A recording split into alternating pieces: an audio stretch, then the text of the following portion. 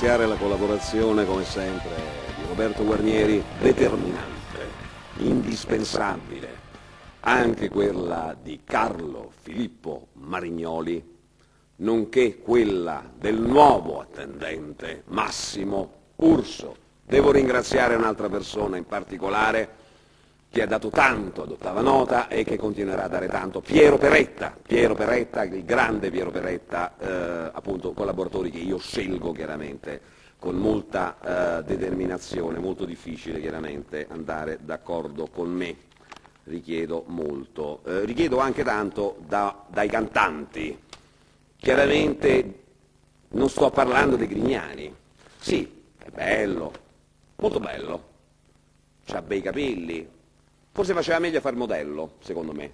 Meglio, meglio. Preferisco come modello. Piace pure a me. A me piacciono altre donne invece, chi lo sa. Comunque, Grignani, certo, non stiamo a parlare di quella voce là. Con tutto il rispetto. Sto a parlare di Glenn Hughes. Madonna mia, un inferno. Vocalizzi allucinanti. Una cosa che mi fa spavento pure a me, che canto pure io. Jolene Turner mi fa meno spavento, devo dire, ma questo è il disco in coppia. Che volete di più? Due Deep Purple in un disco solo, di cui io solo ce l'ho, per cui è la novità, in anteprima della settimana scorsa. Glenn Hughes, Joe Lynn Turner.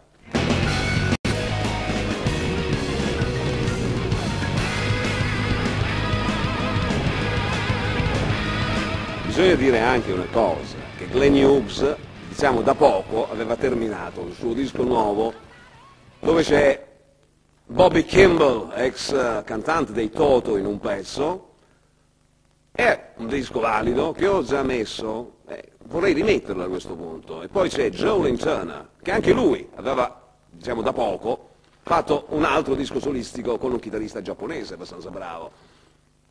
E questa è la novità, appunto, loro due insieme invece. Un colpo, una sorpresa, no? Tutte e due, ex cantante dei Deep Purple in un disco con appunto Richie Blackmore in Rainbow con Ingwie Malmsteen e Glenn Hughes, bassista invece dei Deep Purple e con tante altre storie che sarebbe adesso troppo lungo raccontare, ma io so tutte e non è detto che un giorno non ve le racconto, ho tante storie da raccontarvi, anche sulla musica italiana, per cui mi vorrei ricordare un grosso gruppo, un gruppo con cui io ho collaborato molto, ho fatto l'insegnante a scuola di musica con il loro batterista storico per vario tempo, ho prodotto io il disco del loro chitarrista storico con Cocciante alla voce, Innocenzi alle tastiere, che è stata sigla di ottava nota, ovvero Rodolfo Maltese, prodotto da me. Ehm, con gli altri ho avuto delle collaborazioni, ma il fatto vuole, un fatto molto strano, che a un certo momento il banco del mutuo soccorso decide di prendere un chitarrista invece scoperto da me, dunque affiancare allo storico Rodolfo Maltese un chitarrista metal. Io seppi immediatamente questa notizia che Max Smeraldi, ovvero una mia scoperta, stava per entrare nel banco del mutuo soccorso come chitarrista diciamo più innovativo, più moderno. Calderoni quel giorno stava con me, stavamo lavorando insieme, gli ho detto per Luigi hanno preso Max, lui neanche lo sapeva, gli ho detto quando vai in sala prove sicuramente vicino a Vittorio Innocenzi, Rodolfo Maltese e Francesco Di Giacomo troverai Max Smeraldi. Dice ma è strano che Vittorio non me l'ha detto, te lo dico io, si presentò in sala prove appunto ai, ai Castelli Romani e trovò il grandissimo Max Smeraldi e fecero questo disco dove Vittorio Nocenzi in questo brano canta lui, non c'è Di Giacomo, Calderoni viene escluso e viene immesso un grandissimo batterista, uno dei migliori batteristi italiani, appunto sconosciuti, che è il nuovo batterista tuttora del Banco del Mutuo Soccorso, Maurizio Masi. Vittorio Nocenzi, tastiere e voce, Max Smeraldi alla chitarra, il grande Maurizio Masi, tra appunto una nuova forma di banco del mutuo soccorso con l'ingresso di Max Smeraldi e Vittorio Nocenzi alla voce, pur considerando che c'era ancora Francesco Di Giacomo, ma non ottiene prove straordinarie Francesco in questo tredicesimo disco del banco, che vorrei ricordare stasera in onore appunto della fusione del grande Max Smeraldi con lo storico gruppo Banco del Mutuo Soccorso.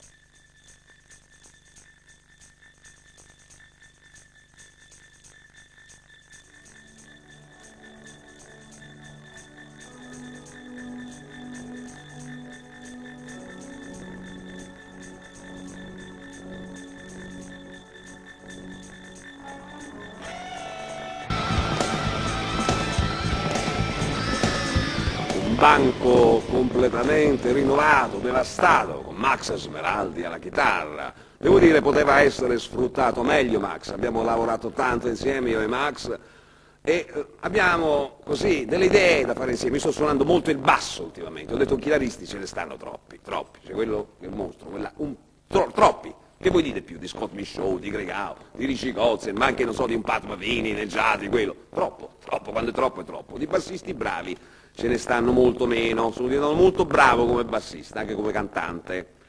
Per cui ho detto Max, vieni a farmi da ospite nei miei prossimi spettacoli, attacca la chitarra e suona. Cosa c'è di più grande di avere non uno dei più grandi chitarristi italiani, ma uno che può competere con i più grandi chitarristi del mondo senza nessun problema. Max Smeraldi è da paura, è terrificante, torna dopo molti anni, dopo molti problemi anche suoi personali e ci ha telefonato appunto in diretta per raccontarceli umilmente. Io non sarei tanto umile se fossi lui, perché è uno dei chitarristi più distruttivi del panorama musicale italiano. Questo è l'ultimo disco solistico uscito proprio da una settimana di Max Smeraldi.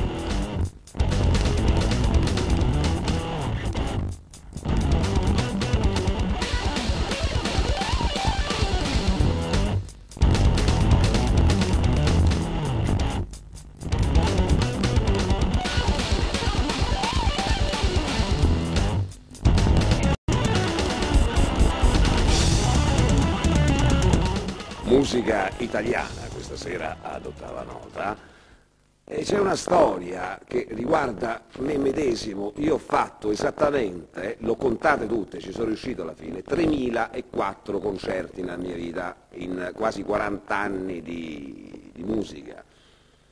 Un periodo io andai in America perché mi prese un periodo, è molto strano, ve l'ho testimoniato da varie riviste, vari giornali, Grace Jones, per un fatto casuale mi scelse per accompagnarla in dei concerti in America, da lì conobbi un altro giro, per cui rimasi diciamo, in America un bel po' di tempo.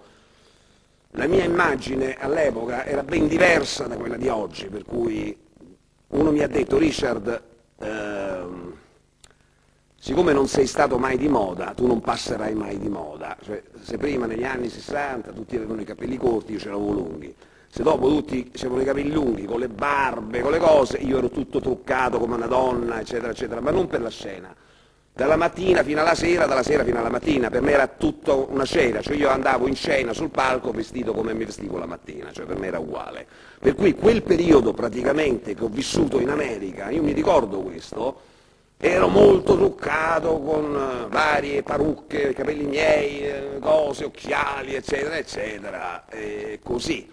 Diciamo che in Italia io, Gianni Leone, Stefano Urso del rovescio della medaglia, Gianni Leone del balletto di bronzo e Renato Zero, eh, eravamo diciamo, i quattro che inseguivano un certo tipo di andatura, di fisicità, ecco così, eh, però vera, dalla mattina fino alla sera, non dice vado sul palco, vado in camerino, mi vado a cambiare, no, vai sull'autobus vestito così, vai sulla metro, non c'era la metro, scusate, eh, eccetera, eccetera.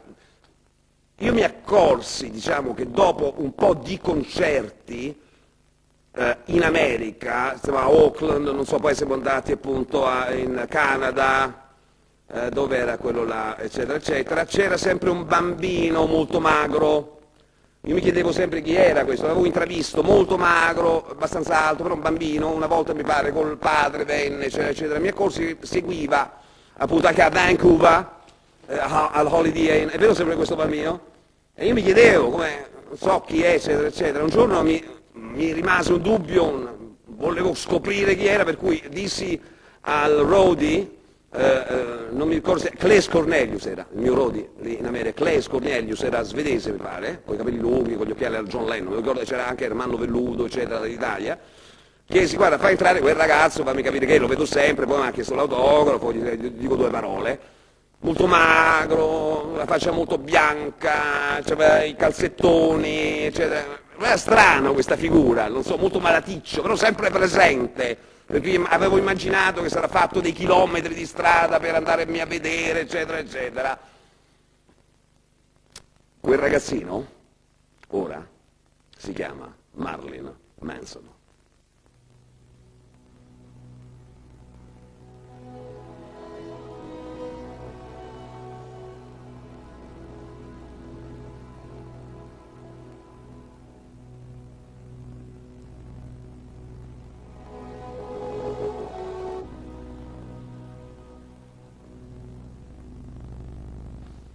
Sicuramente uno dei gruppi che ha preso più nella storia dell'ultimo decorso rock, metal, è difficile definire dei generi, no? perché a volte sono più romantici, a volte eh, poi cambiano in continuazione il genere, questo è bello. Del gruppo eh, c'è una canzone che è piaciuta molto, eh, anche alla gente non interessata proprio dell'ambiente heavy metal, ipertecnico, gente che non sa chi è Petrucci, Pornoi, Jordan Rudess, eh, eh, James Labrie, non sanno chiaramente chi è Michael Romeo, Mike Pinella, non sanno chi è Joy Tafolla, Brett Garsed, Sean Lane, Scott Misho, TJ Elmerick, so, Jennifer Batten, Paul Gilbert, Tony McAlpine, Dennis Chambers, eh, batterista, gente che non conosce chiaramente, ma è giusto che, che sia così, perché se, se nessuno lo dice, eh, eh, la gente non lo conosce, conosce Antonacci, Carboni, insomma no, Mazzotti, la Pausini. Eh, certo, però forse il volere insito nella persona è diverso, solo che non conosce, non lo sa che esiste. È per questo che esiste ottava nota. Per gente che vorrebbe sentire qualcosa di più e non lo trova. Io ve la do, ve la do la chiave di quella porta, apritela. Dream Theater.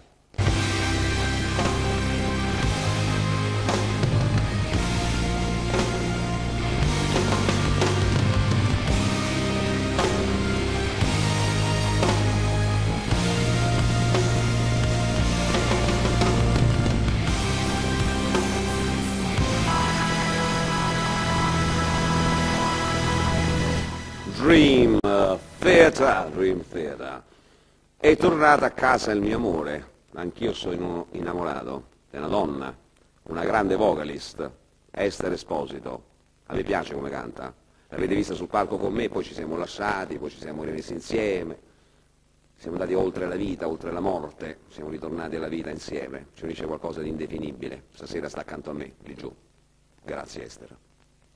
Grazie. Adesso le nuove scoperte. La nuova scoperta, due, seconda scoperta, i primi erano i forefront della settimana scorsa, dove c'è un bassista, vi ho detto mi sono messo a suonare il basso. Mi mancavano un po' di riferimenti, cioè ce n'avevo tanti, i soliti, Pastorius, Stanley Clark, Jeff Berlin, quanti, Myung, quello, tutti bravi, tutti mostri, jazz, fusion, blues, metal progressive, tutti bravi. Mi mancava qualcos'altro, ho detto mi manca anche Billy Sheehan, sì, L'ho trovato in questo bassista qua, io non ho mai sentito un bassista suona così in vita mia. Mai. Un gruppo sconosciuto, un disco nuovo. Questa è la scoperta della settimana scorsa che continuerà per un mese ad ottava nota e poi immediatamente dopo la scoperta nuova di stasera. Una cosa allucinante, sconvolgente. Poche volte ho sentito in vita mia suonare così, ma sono tutti così bravi però bisogna scoprirli perché ho catasti grazie a Roberto Guarnieri e Carlo Filippo Marignoli, ma devo ringraziare anche Piero Peretta stasera, indispensabile Piero Peretta per la trasmissione di questa sera, che mi ha trovato proprio quello che cercavo, grazie Piero, sei veramente un amico, oltre ad essere una persona meravigliosa, appunto eh, Guarnieri, riempito la casa di dischi, anche i loro consigli giustamente, però bisogna trovare poi, perché sono così tanti dischi che avrei bisogno di trasmissioni tutte le sere per farvi risentire tutti, allora devo scegliere quelli più appuntabili, quelli ancora più importanti, più determinanti, più carnali nei confronti della musica, più eh, di intelletto, ma anche di veracità, di spontaneità. È difficile trovare un bilancio, ma questa volta non è stato difficile perché non c'è di meglio di questo al mondo. Due gruppi veramente da paura. I primi sono Spaced Out.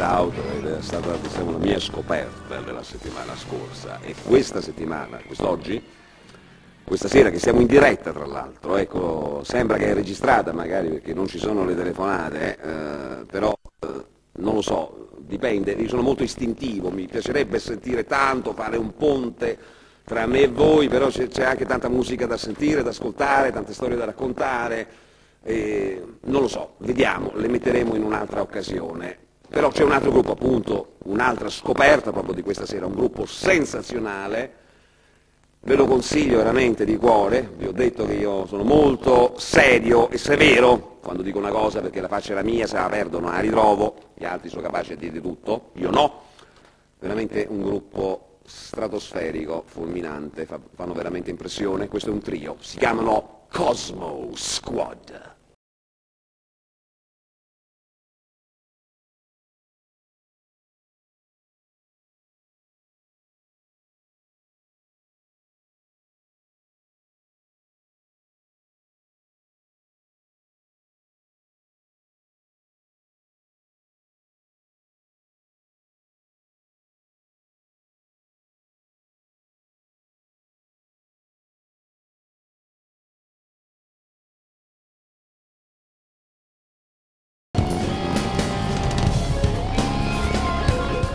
Siamo in chiusura di trasmissione, devo ringraziare appunto Roberto Guarnieri, grande collaboratore, Massimo Urso, il nuovo collaboratore da tre settimane, Piero Perretta, stasera veramente ottimo collaboratore, eh, Carlo Filippo Marioli, grande, storico appunto, conosciuto dappertutto da anni, che viaggia in questo ambiente. Io mi rendo conto comunque di essere proprio vittima dei miei eccessi. Eh. Io, mi piacerebbe proprio chiedere pace, solo pace. Ad esempio quella pace di quei bos- boschi in, pen- in penombra, no? quando vedi quei boschi in penombra, senti la pace, solo che ne ha paura poi il mio istinto.